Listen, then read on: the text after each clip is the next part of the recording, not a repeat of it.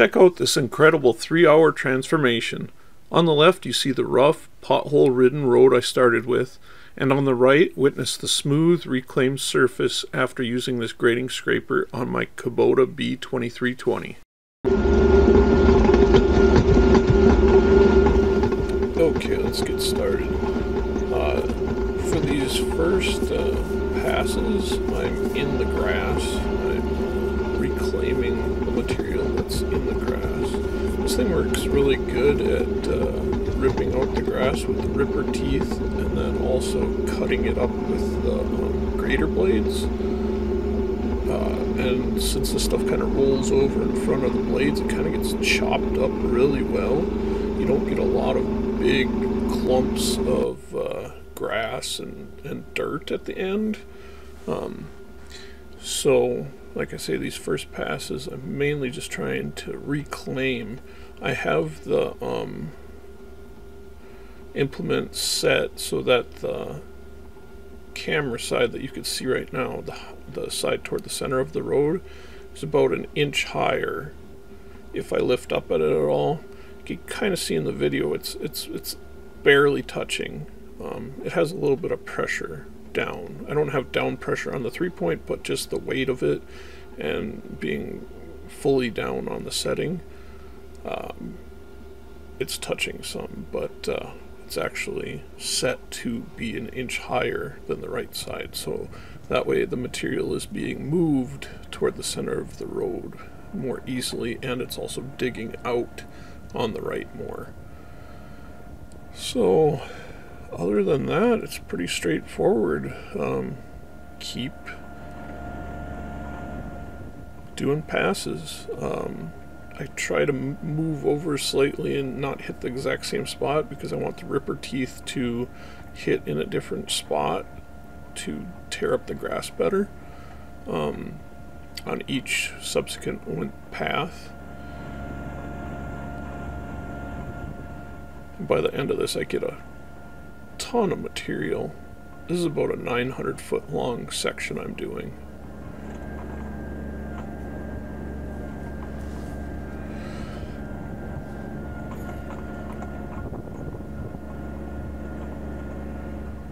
So I'm not getting a whole lot of uh, material in the um, the grader uh, these first passes because it is plugging up with that grass and whatnot. But once I get that grass mainly ripped up, then I'll start really filling it up. So like the fifth pass in or so, you'll see. And I'll, I'll uh, have uh, markings on the video so you can skip ahead to that if you'd like.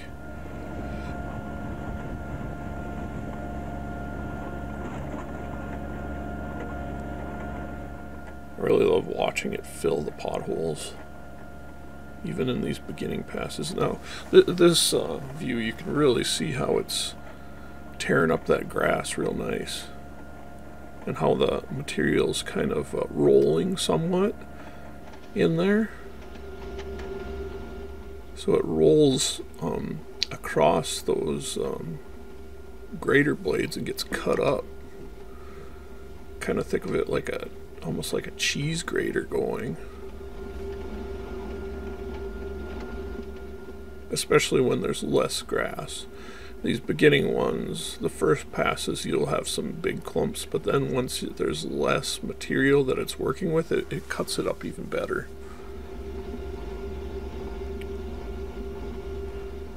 Anyhow, I don't think I have a whole lot more to say. Probably start some music. Uh, if I haven't already. So I thought about speeding up the video, but I decided not to. I also thought about taking out the tractor noises, but I figured you'd like to hear um, if it's bogging or whatnot. Oh, I'm running in low speed these first passes, but then I went into mid-range uh, later on, and I could get away with mid-range pretty much all the time, really, once I figured it out more, because you can feather up the um, the grater a little bit so you're not digging as much and you're releasing more material or like I did a lot of the time is I just uh, stopped and downshifted into low range I'm in four-wheel drive too um, So you can pull quite a substantial amount while in low range, but it's slow going, so mid range can go quite a bit faster if you don't have that much material load.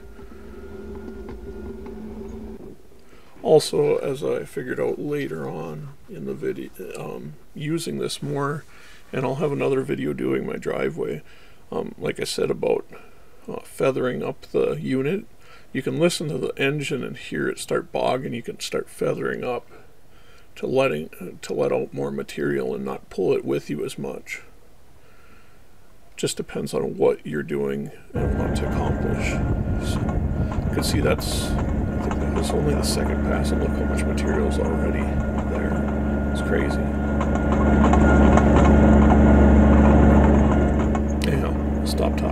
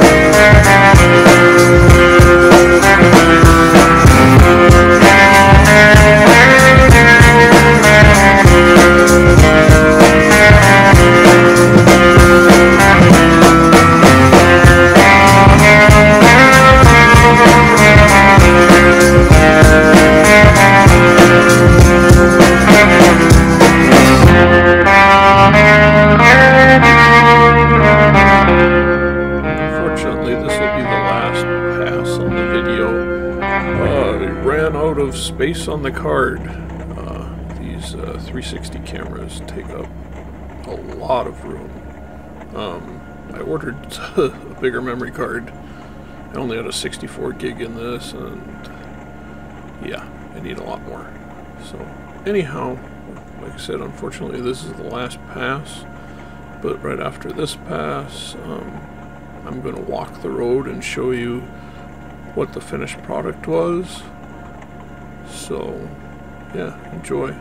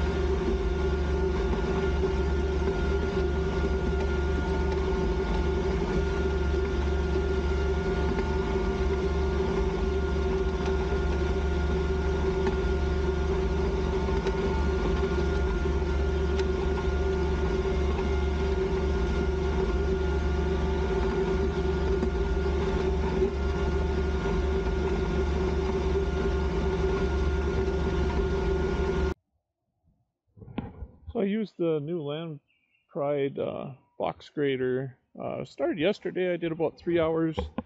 I did from that driveway down there down to that driveway. And it was kind of a learning process. So this probably isn't as good as what I did today, but it's a lot better than what it was. Also, I finished up at like 9 this morning. I started at no, I ended at 10. Started at 7, so I got like 3 hours.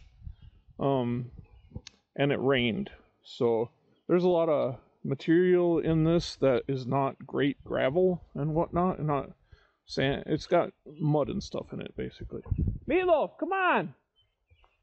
Because I was uh, pulling the shoulders in, getting rid of the shoulders, so we're going right to the ditch more, you know, because basically the shoulders were higher than the roadbed. So yeah, this is all the stuff I got from the shoulders, basically. And some of the gravel and stuff too. It's all mixed together, of course. But that's how much I gained. Basically, this was all potholes. Um, it was really bad. You'll kind of see in in the video the far end that I did today. So, but yeah, I was learning um, that side's pretty soft, although it's not bad now, but it's still, there's not a lot of gravel in this part of it. Milo, come here! Come here, Bob.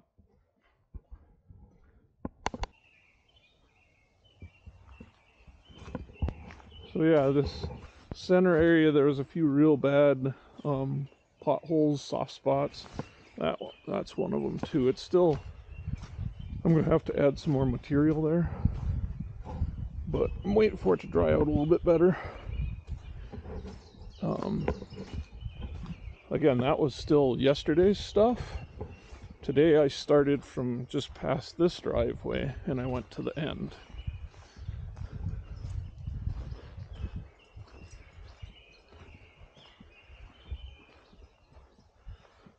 And again, the grass came out a good four feet ish. You know, to right about here, right around there. If you watch the video to the end, you'll see. And this was really potholy.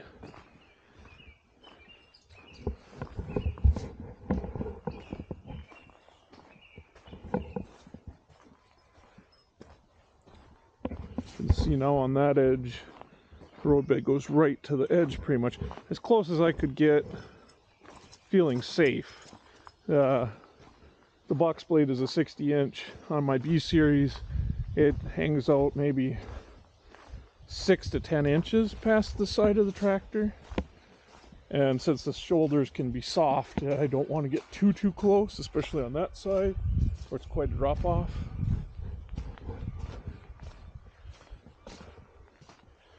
You can see I've gotten rid of majority of all the pot potholes. Got a few spots that are that I missed. Looks like I'll have to add a little material. You know, as it gets packed. But this is this is a thousand percent better than what it was. We also might get a few loads and run it right down the center Just to build up the center a little bit more. It's looks fairly flat to me, even though I tried moving it into the center. I had the box blade angled slightly, so the shoulder side would dig more. And even at points, if you watch in the video, um, you can see the the crown side is maybe an inch off the ground at points. So more material is being deposited toward the center of the road, the crown of the road thus creating a slope to the edge better. It's a process, you know. This was really bad. It was hard to drive on. You couldn't go, you had to zigzag all around all the dang potholes and everything. That was kind of a pain. So now, as you can see, tire tracks are straight. People are just driving straight in. So, for, you know, six hours work, which at least an hour or two is just learning you know, learning how to set the blade, you know, angles and whatnot, and just how to use it. Because um, I figure out after a while, once you get uh, too much on, you can just feather it up a little bit, and that helps uh, spread it slightly it's kind of a feeling thing slash uh, sound. But yeah, that looks, man, it looks fantastic compared to what it did.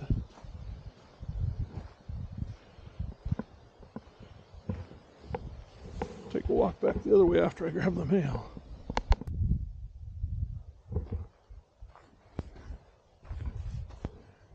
I will work the edges more later once it dries out again. So I want to get rid of more of this grass that's still poking through in that. And I might spread some of my spoils that are in pretty good, you know, a lot of, a lot of gravel in them. In, in any low spots I can see. It's, it's hard to see them kind of when everything's all wet, at least for me anyhow. But it's all pretty solid now. I don't see any really bad standing water. We got like a quarter to a half inch today so far, so since I finished this.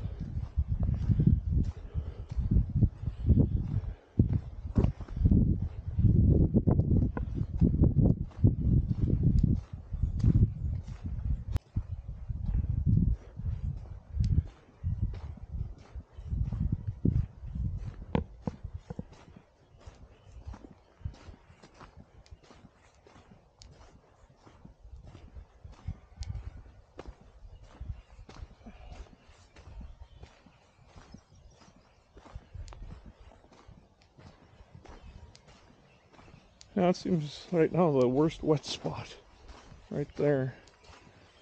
And then I can see it's low right here. Could definitely use a few buckets full here. That's going to be a puddle maybe.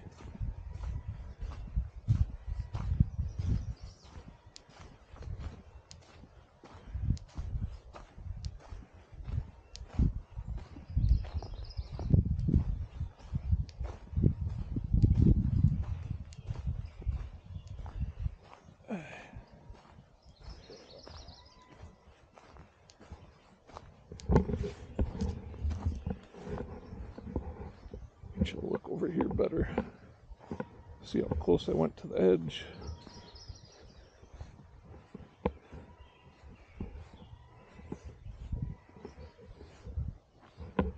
And I had the teeth just set barely below the blades.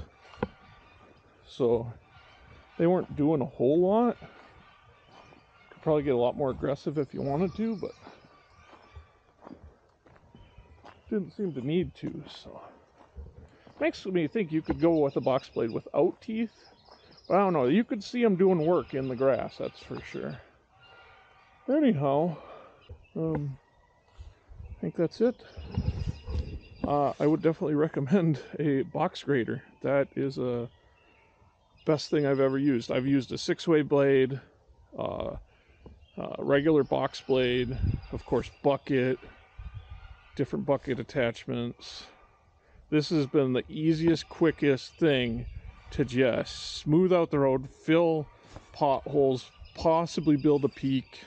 This is a wide road. You gotta understand this is this is 25 foot wide at least um, from side to side. So it's not the easiest thing to do. It's wider than standard when you figure in the shoulders. So yeah, anyhow, have a good one.